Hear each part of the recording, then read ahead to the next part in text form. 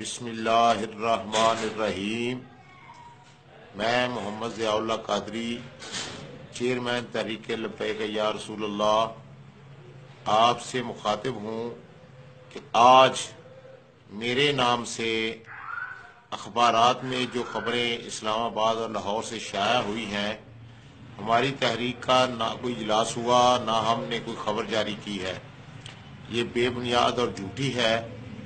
حضرت علامہ پیر محمد افضل قادری، دامت برکات القدسیہ اور علامہ خادم حسین رضوی صاحب سے تحریکی اختلاف تو ہو سکتا ہے، لیکن ذاتی کوئی اختلاف نہیں ہے۔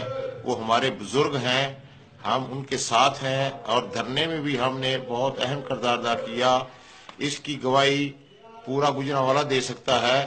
ہم دھرنوں میں موجود رہے، یہ تحریک لبیک یا رسول اللہ نمو سے رسالت کے لیے کٹ تو سکتی ہے، لیکن کوئی کسی پر بے بنیاد الزام نہیں لگا سکتی۔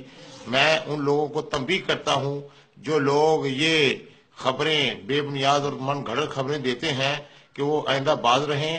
ہم انشاءاللہ آج ہی ان اخبارات کو خلاف نوٹس جاری کریں گے، قانونی نوٹس، جنہوں نے یہ خبریں لگائی ہیں۔ آئندہ کوئی بھی میری خبر بغیر کسی تصدیق کے شائع نہ کی جائے، ہم اہل سنت کو جوڑنے والے ہیں، ہم اہل سنت کو توڑنے والے نہیں، اللہ ان کا بیڑا غرق کرے جو اہل سنت کو توڑ رہے ہیں۔